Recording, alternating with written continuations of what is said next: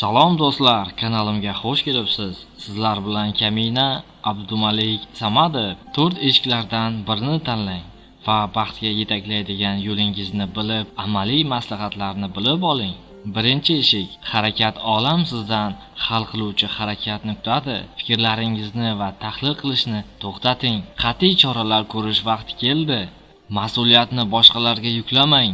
Siz o'zingizning baxtingiz muallifisiz va uni tashqi yordamisiz yaratishga qodirsiz.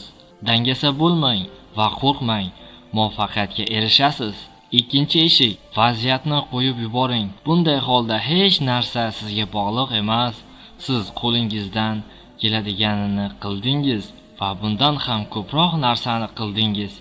Imkoniyat irodasiga ishonish va har qanday voqealarni kamtarlik bilan qabul qilish vaqti keldi.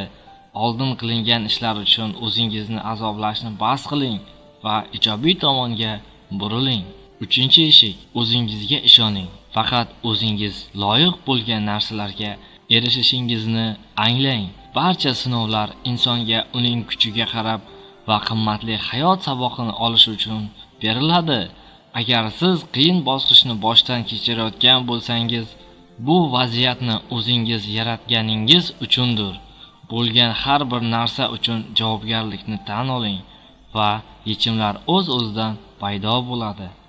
4-eshik yordam so'rang. Yaqinlardan yordam so'rash yaxshi. Siz hamma narsani o'zingiz qilishingiz shart emas. Yordam so'rang, shunda siz yordam olasiz. Asosiysi istaklaringizni aniq shakllantirish va ularni boshqalarga yetkazishdir.